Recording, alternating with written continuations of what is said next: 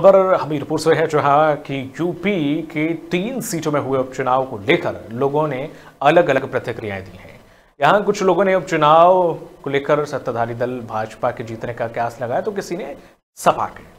आज जो मतदान हुआ है, जिसका परिणाम आगामी 8 दिसंबर को आएगा। उपचुनाव को लेकर हमीरपुर के लोगों की क्या प्रतिक्रिया रही? देखिए। भारतीय जनता पार्टी का पल्ला भारी रहेगा और जो हमारे प्रत्याशी हैं साक्य जी वो भारी बहुमत से विजय प्राप्त कर ये कहना चाह रहे हैं कि एक चुनाव मैनपुरी में हो रहा है जो लोकसभा का चुनाव और दो विधानसभा के चुनाव हो रहे हैं, एक रामपुर सीट पे, एक खतौली सीट पे। इसमें निश्चित रूप से हम ये चाहते हैं कि जो हम देख रहे हैं जिस तरीके से सीटें खाली कराई गई हैं, एक तो नेताजी के नाम की सीट है, वो तो समाजवादी पार्टी ही जीत रही है, रामपुर वाली भी समाजवादी पार्टी जीत रही है और खतौली भी समाजवादी पार्टी जीत रही है। प्रदेश में दो विधानसभा और एक मैनपुरी लोकसभा क्षेत्र पर उपचुनाव की घोषणा हुई है और आज वोटिंग हो रही है, जहाँ पर तीनों ही जगह पर समाजवादी गठबंधन, समाजवादी पार्टी की और राष्ट्रीय लोकदल और आज़ाद समाज पार्टी के गठबंधन, तीनों ही जगह पर समाजवादी गठबंधन बहुमत के साथ जीत